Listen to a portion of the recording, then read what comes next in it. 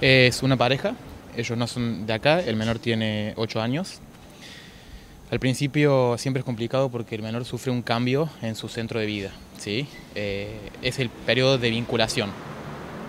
Una vez terminado eso, termina la guarda preadoptiva y empieza lo que es el juicio de, adopción. No es un proceso sencillo, pero es como todo. Eh, con las herramientas o el acompañamiento, incluso el del juzgado también, se vuelve, porque lo hacen así, lo más sencillo posible para el menor. El tema del lenguaje claro, que entienda, porque el menor no sabe lo que está pasando o no, no suele entender mucho de eh, los términos jurídicos. Entonces en cada audiencia, en cada lugar se le explica, vos venís a esto, a hacer esto, podés decir esto, le preguntan qué opinas sobre esto. en, la última audiencia se, le pregunta cómo se llama, cómo se quiere llamar, si, si, son sus padres, si los reconoce como sus padres, a los padres si los reconocen como hijo. Eh, las palabras te amo, te quiero juegan un rol muy fuerte porque se tienen que vincular en un periodo que no es mucho, son seis meses de máxima, no es mucho tiempo para una, para una vinculación y llegar a hacerlo en ese plazo es un logro tanto para él como para ellos. Ellos tienen una, una capacidad increíble para con los niños y el proceso lo que busca es que el niño esté en buenas manos, ¿sí? Porque ellos obtienen todos los derechos sobre ese menor, como si fueran los padres biológicos.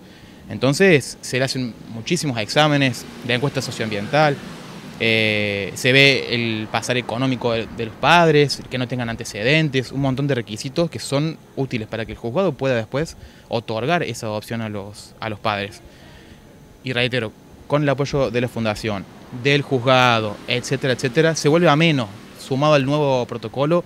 No es, antes sí, era mucho más tiempo, mucho más requisitos, los plazos, pero ahora realmente está hecho para que sea eh, accesible para, para cualquier persona, para cualquier persona. Es un momento que pasa una sola vez, incluso desde, desde el Poder Judicial ellos preparan la sala de audiencias con globos, porque para el niño es una fiesta, para el, para el, niño no es una audiencia de final de la causa, no, no, para él es una fiesta y él estaba dibujando durante la audiencia y se le hacían preguntas, él contestaba, saludaba a sus abuelos, los saludaban los, los policías de afuera y él saludando todo el tiempo, él porque es su comprensión. Se le explica, la sentencia se lee una vez formal y se vuelve a releer o, explicarse, que en eso la doctora Gamero es excelente, junto con, la fiscal, la doctora Company, se la lee en el lenguaje claro, le explican qué, qué es lo que está pasando, qué se sentencia, por qué, y, el niño realmente lo entiende. Ellos, preparan el entorno para que el niño pueda comprender qué es lo que está pasando sin que sea abusivo, sin que sea algo eh, abrazador o avasallante.